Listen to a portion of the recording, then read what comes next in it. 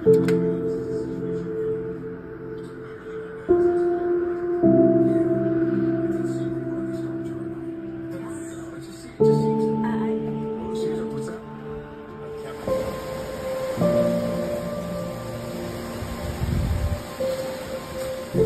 yeah, it's windy out here.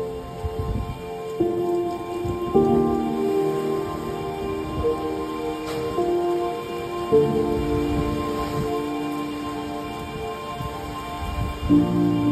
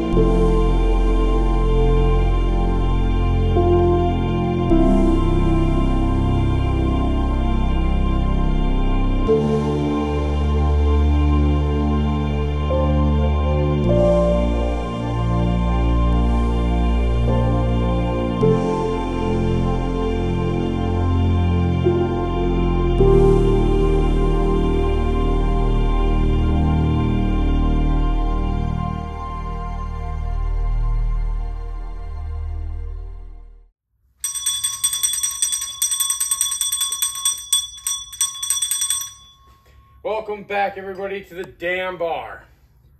We made it. We survived. We're staying Florida strong. That was one hell of a storm. I gotta say, as uh, as there's lots of my the, lots of my neighborhoods behind me, right behind me, flooded. Came right up to my neighbor behind me, his front door, as you probably saw in the pre uh, pictures coming into this video as well as lots of tree damage and stuff like that. We just recently got our internet service back on, which was the last thing to come back. It took a while to get our power back, and luckily we did not lose running water. But we were without power for over a day, which we were some of the, some of the fortunate ones.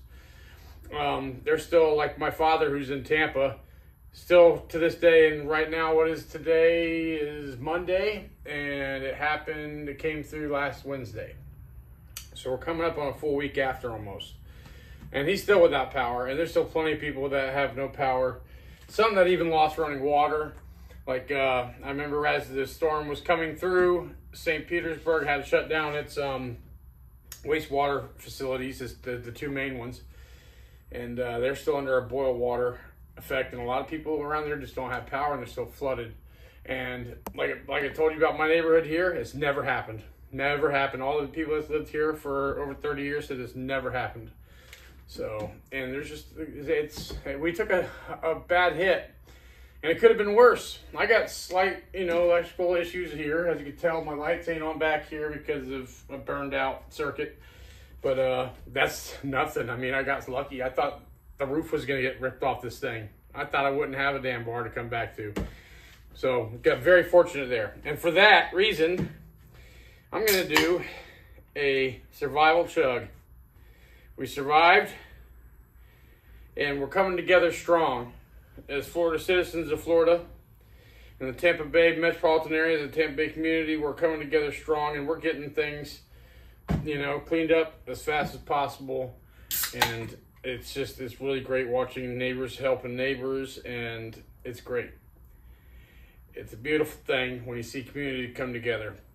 Granted, there are so those knuckleheads, especially when it comes to gasoline. You know, they want to get out there and fight over gas. And we went days, and it was pretty chaotic at those gas stations, let me tell you. Pretty chaotic.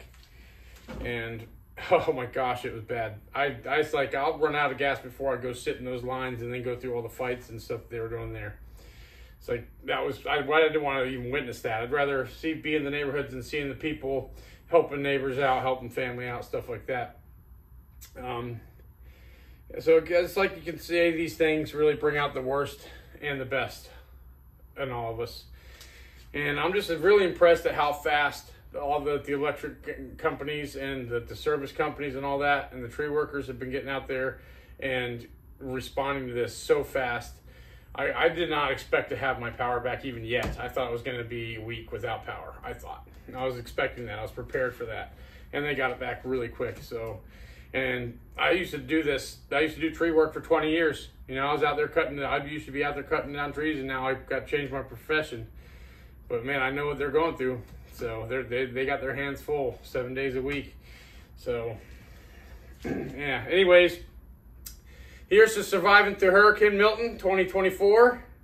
Hopefully, we don't ever have to deal with something like that again forever. And but you know, we know it's Florida; it's going to happen again. But uh, here's to surviving that, and here's to staying Florida strong. Salute.